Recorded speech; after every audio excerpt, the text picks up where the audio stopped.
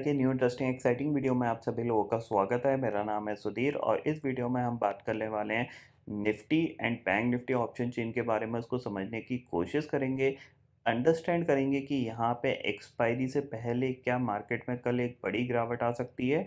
या फिर market sideways में कंसोलिडेट करने की कोशिश करेगा। अब कौन से इंपॉर्टेंट लेवल हैं जिसके बाद आपको वन वे सेलिंग देखने को मिल सकती है 200 से 300 पॉइंट की निफ्टी के अंदर और बैंक निफ्टी में करीब 500 से 600 पॉइंट की तो उस लेवल को हम डिस्कस करने की कोशिश करेंगे। तो जल्दी से इस वीडियो को स्टार्ट करते हैं। मैं आ गया हूँ, ऑप्शन चेंज डाटा पे और समझते हैं यहाँ पे कल का ट्रेडिंग सेशन कैसा रह सकता है। कल है वेनसडे का trading session, most important trading session है क्योंकि एक्सपायरी से एक दिन पहले का ट्रेडिंग सेशन है और जिस तरीके से आज निफ्टी अपने टॉप से गिरा है और बैंक निफ्टी भी अपने हाई से गिरा है, उस तरीके से लगता है कि एक्सपायरी अराउंड सोलह हज़ार पाँच सौ के आसपास हो सकती है। तो उसको समझने के लिए सबसे पहले हम चलेंगे चार्ट पे।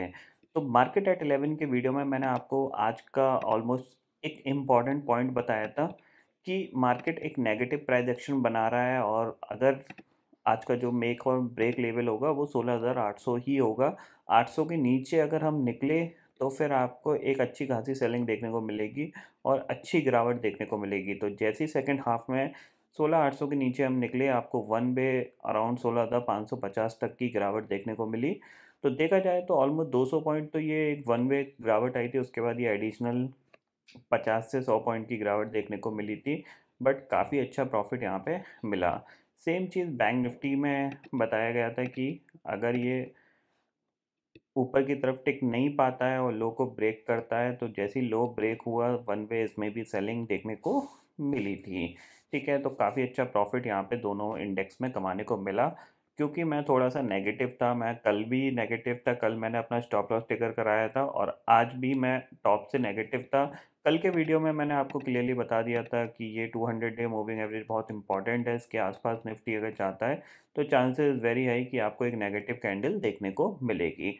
और वो हमें काफ़ी अच्छी, बड़ी नेगेटिव कैंडल देखने को मिली है, ठीक है? तो वीडियो को पूरा देखिएगा, बहुत ही इंपॉर्टेंट पॉइंट बताने जा रहा हूँ मैं, जो आपके काम आएँगे इन द फ्यूचर ये चीज़ समझ लीजिए, क्योंकि यहाँ पे जो कंडीशन बन रही है, that is the breakout failure की, ठीक है? उसको मैं यहाँ पे एक्सप्लेन करूँगा तो आपको बहुत चीज़ें क्लियर होंगी। तो सबसे पहले हम बात कर लेते हैं ऑप्शन चेन डाटा की। तो ऑप्शन चेन डाटा में जो निफ्टी की क्लोजिंग आई है, वो आई है सोलह हज़ार छः सौ साठ की, ठीक है? तो सोलह हज़ार छः सौ साठ की क्लोजिंग आई है तो करेंटली अगर सोलह हज़ार सात सौ की जो पुट देखोगे, वहाँ पे कितना है? एटीन लाख का ओपन इंटरेस्ट खड़ा हुआ है। सोलह सात सौ की कॉल पे करीब twenty three point eight lakh का ओपन इंटरेस्ट है, सोलह आठ सौ की कॉल पे twenty four point six lakh का ओपन इंटरेस्ट है और पुट पे सिर्फ़ एट पॉइंट एट लाख का ओपन इंटरेस्ट रह गया, जो कि सुबह ऑलमोस्ट पच्चीस लाख से ऊपर का ओपन इंटरेस्ट था। इसीलिए मैंने आपको सुबह ये चीज़ बोली थी कि आज का जो डे है, उसका जो मेक और ब्रेक लेवल है, वो सोलह आठ सौ ही है, क्योंकि सोलह आठ सौ पे फ्रेश पुट राइटर्स आए थे, और ज़ाहिर सी बात है फ्रेश पुट राइटर्स मतलब उन्होंने आज के दिन पुट राइट करी है। तो आज के दिन अगर सोलह आठ सौ ब्रेक हो जाता है तो उनको आज ही से लॉस होने लगेगा, क्योंकि अभी तो एक्सपायरी होने में दो दिन है। और जैसे ही नीचे मार्केट ट्रेड करने लगा सोलह हज़ार सात सौ पचास के इमीडिएटली वहाँ पे क्या हुआ लॉन्ग अनवाइंडिंग का प्रेशर मार्केट को और नीचे ले गया। अब नीचे की तरफ़ देखा जाए तो सबसे इंपॉर्टेंट लेवल आपके पास सोलह हज़ार पाँच सौ ही है, जहाँ पे कि छब्बीस लाख का ओपन इंटरेस्ट खड़ा हुआ है। सोलह पाँच सौ के नीचे गए तो आपको वन बे दोबारा से सेलिंग देखने को मिलेगी। जब तक सोलह हज़ार पाँच सौ को होल्ड कर रहे हैं, तब तक यहाँ पे मार्केट सोलह हज़ार सात सौ से लेके सोलह हज़ार पाँच सौ के बीच में ट्रेड करने की कोशिश करेगा। और सोलह हज़ार आठ सौ आपके लिए अब इंपॉर्टेंट रेजिस्टेंस का काम करेगा और स्ट्रॉन्ग रेजिस्टेंस जो बन गए हैं, वो सोलह हज़ार नौ सौ और सत्रह हज़ार बन गए। ये चीज़ आप क्लियरली यहाँ पे समझ लीजिए। अब चलते हैं चार्ट पे और चार्ट को अंडरस्टैंड करते हैं कि चार्ट पे कौन से इंपॉर्टेंट पॉइंट्स मैं आपको बताने जा रहा हूँ। ठीक है? तो सबसे पहले निफ्टी के चार्ट पे चलते हैं और ये है निफ्टी का चार्ट और ये सब चीज़ें हटा देता हूँ। ये 200 डे मूविंग एवरेज आपको बिल्कुल ध्यान रखना है, जो कि सत्रह हज़ार पे आ रहा है। सत्रह हज़ार के ऊपर कंटिन्यूस क्लोजिंग आती है, यानी जिस दिन भी क्लोजिंग आ गई, उस दिन आपको 300 से 400 पॉइंट का मूवमेंट निफ्टी के अंदर देखने को मिलेगा।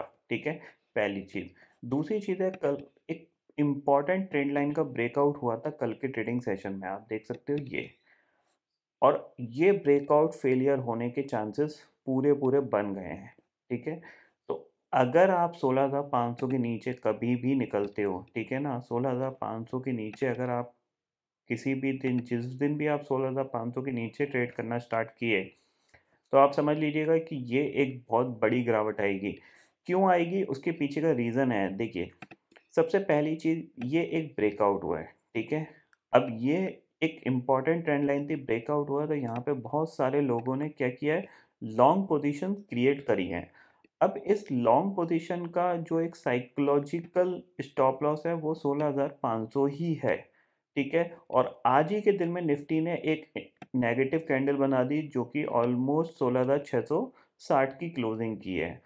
तो ये जो लॉन्ग करने वाले हैं, ये बहुत ही बुरी तरीके से अब फंस चुके हैं, ठीक है? तो यहाँ पे आप समझ लीजिए, अगर इनका स्टॉप लॉस टिगर होगा, वो कहाँ पे होगा? सोलह हज़ार पाँच सौ के, क्योंकि साइकोलॉजिकल लेवल है, और जैसे ही सोलह हज़ार पाँच सौ ब्रेक हुआ तो फिर आपको एक तेज गिरावट देखने को मिलेगी, क्योंकि ये जो पोजीशन लॉन्ग की हैं, ये अनवाइंडिंग आएगी, और जैसी लॉन्ग अनवाइंडिंग आएगी मार्केट में प्रेशर नीचे की तरफ़ गहराएगा इसीलिए एक तो आपको सेलिंग का प्रेशर और प्लस लॉन्ग अनवाइंडिंग का प्रेशर मार्केट को और तेज़ी से नीचे ले जा सकता है। इसीलिए आपको सोलह हज़ार पाँच सौ के नीचे एग्रेसिव सेल करना है, ये चीज़ आप क्लियरली समझ लीजिए। सोलह हज़ार पाँच सौ के नीचे आप ट्रेड करते रहते हो, आप एग्रेसिवली शॉर्ट करो टारगेट आपके लिए सीधा सीधा सोलह हज़ार दो सौ का यहाँ पे निकलता है, यानी तीन सौ पॉइंट की गिरावट देखने को मिल सकती है सोलह हज़ार पाँच सौ के नीचे निफ्टी के अंदर, ठीक है?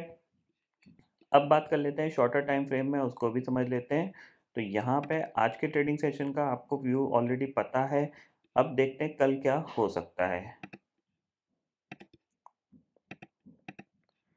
तो पंद्रह मिनट का यहाँ पे मैं लगा रहा हूँ और आपको क्लियरली दिखेगा कि एक, ये हमारे पास एक इंपॉर्टेंट लेवल है, ठीक है, जहाँ पे इसने आज के दिन सपोर्ट लिया है। और अगर कल ये इस लेवल के नीचे निकलता है तो चांसेस वेरी हाई कि ये सोलह हज़ार पाँच सौ को ब्रेक कर देगा और फिर जो नेक्स्ट टारगेट होगा वो सोलह हज़ार तीन सौ सत्तर का निकल के आता है। ऊपर जब तक हम दोबारा से सोलह हज़ार सात सौ पचास के ऊपर नहीं निकलते, तब तक हम यहाँ पे बाइंग की बातें नहीं करेंगे और सोलह हज़ार सात सौ पचास के ऊपर निकलता है निफ्टी तभी हम यहाँ पे बाइंग के बारे में सोचेंगे। अगर कोई गैप अप ओपनिंग होती है लेटर सपोज़ सोलह हज़ार आठ सौ के आसपास निफ्टी खुल जाता है किसी भी रीज़न से तो वहाँ से हो सकता है दोबारा से आपको एक सेलिंग देखने को मिले तो आप उसके लिए पहले से ही प्रिपेयर रहिएगा। क्योंकि देखिए, जिन लोगों ने लॉन्ग किया था, अगर ये मार्केट ऊपर गैप अप खुलता है तो कहीं ना कहीं कुछ लोग एग्जिट भी करेंगे अपनी पोजीशन को तो उसका प्रेशर भी मार्केट में बना रहेगा। तो इसीलिए मैं आपको बोल रहा हूँ कि जब तक मार्केट अब ये, जब तक ये सोलह हज़ार नौ सौ तीस के ऊपर नहीं निकलता, तब तक आपको बाय के बारे में सोचना नहीं चाहिए। और जब ये निकल जाता है तब आप स्ट्रांगली बाइंग के बारे में सोच सकते हो, ठीक है? और नीचे आपको जैसे ये लो ब्रेक होता है, सोलह हज़ार पाँच सौ पचास का आज के दिन का तो आपको यहाँ पे सेल करना चाहिए। बात कर लेते हैं बैंक निफ्टी की तो बैंक निफ्टी को भी देख लेते हैं यहाँ पे, किस तरीके से कामकाज यहाँ पे हुआ है। देखिए बैंक निफ्टी में अगर देखा जाए तो यहाँ पे मैं फिफ्टीन मिनट का कैंडल लगाता हूँ। कल के ट्रेडिंग सेशन में भी ये बहुत धीरे स्लोली स्लोली ऊपर गया था और अटक रहा था। और आज के ट्रेडिंग सेशन में भी ये दो बार अटैम्प्ट करके ऑलमोस्ट इसने डबल टॉप यहाँ पे बना के ये एक पूरी गिरावट देखने को मिली। और अगर आप थोड़ा सा गौर करोगे तो ये पूरा एक एम पैटर्न था, ठीक है? ये ऊपर गया और फिर एग्जैक्टली exactly वहाँ से ये एक ब्रेकडाउन देखने को मिला है, ठीक है?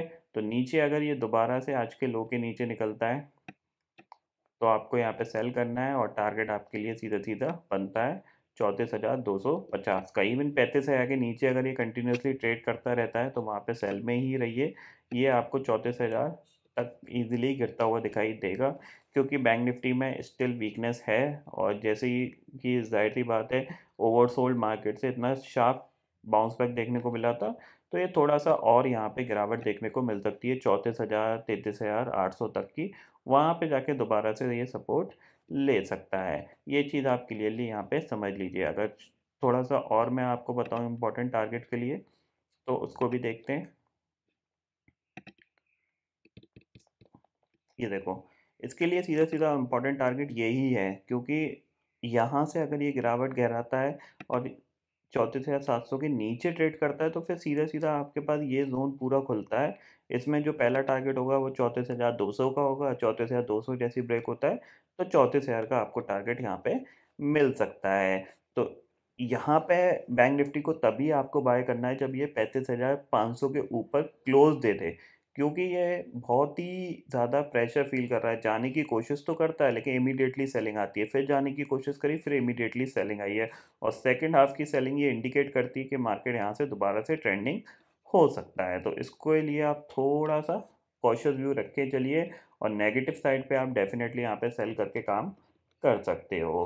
बात कर लेते हैं एक बार ग्लोबल मार्केट की तो डाउ फ्यूचर देख लेते हैं कैसा कामकाज कर रहा है। अभी करेंटली ये 23 पॉइंट के आसपास यहाँ पे आप देख सकते हो 23 पॉइंट के आसपास ये कामकाज कर रहा है है। इंटरडे में काफ़ी नीचे तक गया था बट स्टिल ये कह सकते हैं हम कि ये नेगेटिव साइड पे ही कामकाज कर रहा है, नीचे रिकवरी तो देखने को मिली है। बट यहाँ पे ये समझ लीजिए कि ऑलमोस्ट ये अपने जो रिसेंट लो है, उसके आसपास ही ट्रेड कर रहे हैं। तो एक चीज़ यहाँ पे समझ में आ रही है कि कहीं ना कहीं यहाँ पे ग्लोबल मार्केट में थोड़ा बहुत प्रेशर बना रहेगा। कल तक जब यूएस की जो फेड के जो अनाउंसमेंट है या रेट हाइक का जो अनाउंसमेंट है, वो पूरा आ नहीं जाता। तो थोड़ी सी वॉलेटिलिटी बनी रहेगी, उस वॉलेटिलिटी से आपको यहाँ पे कॉशियस व्यू लेके चलना है। तो आई होप दोस्तों ये पर्टिकुलर डाटा आपको समझ में आ गया होगा। दोस्तों, फ़िलहाल इस वीडियो में इतना ही है। आई होप ये वीडियो आपको पसंद आएगा। वीडियो पसंद आता है तो लाइक और शेयर ज़रूर करिएगा और चैनल को जो सब्सक्राइब कर लीजिए क्योंकि मैं सुधीर लेके आता रहूँगा हर दिन आपके लिए नए नए वीडियो। इसी के साथ शुक्रिया दोस्तों। जय हिंद।